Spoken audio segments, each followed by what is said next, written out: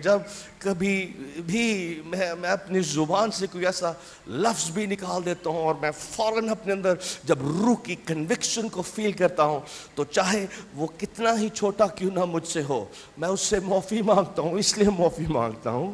क्योंकि मैं जानता हूँ कि मैं खुदा के बगैर पाकरू के बगैर,